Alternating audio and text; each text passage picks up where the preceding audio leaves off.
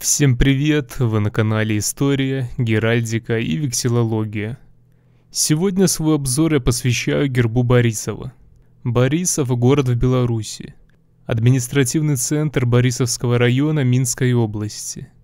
Герб Борисова является официальным символом города. Современный герб был утвержден 29 января 1999 года. Включен в гербовый матрикул Республики Беларусь 23 мая 2000 года под номером 41.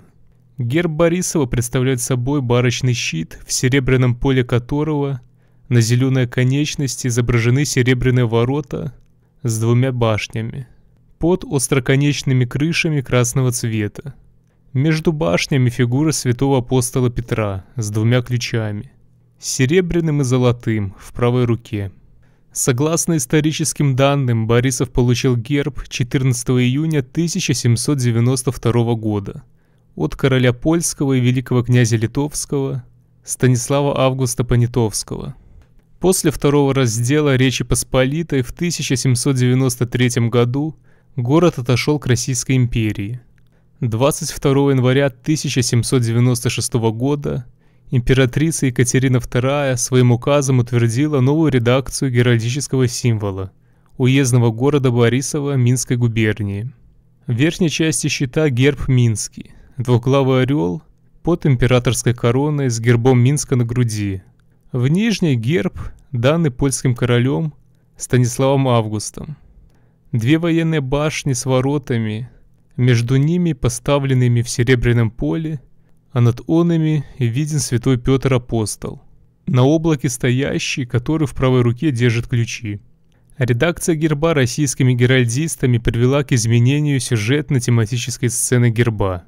Ему был придан светский характер, главным изображением становились башни.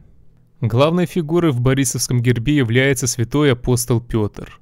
В христианском искусстве его часто изображали с двумя ключами, которые вручил ему Христос. Учитывая религиозную направленность целой серии гербов, полученных в последние годы существования Речи Посполитой, можно предположить, что на гербе Борисова в аллегорической форме изображены ворота в Царствие Небесное, а не фортификационное сооружение. Современная реконструкция исторического герба Борисова по своей изографии в значительной степени тяготеет к его к наиболее раннему геральдическому символу. Что касается символизма, то белый цвет олицетворяет чистоту и мир. Зеленый цвет символизирует жизнь и рост. Красный цвет олицетворяет мужество и отвагу. Замок в Геральдике обозначает важность города. Со стратегической точки зрения. В христианской традиции апостола Петра очень часто изображались двумя ключами, которые вручил ему Христос от рая. Всем спасибо за внимание. Если вам понравилось данное видео, то не поленитесь поддержать его лайком и подпиской на канал. До скорых встреч!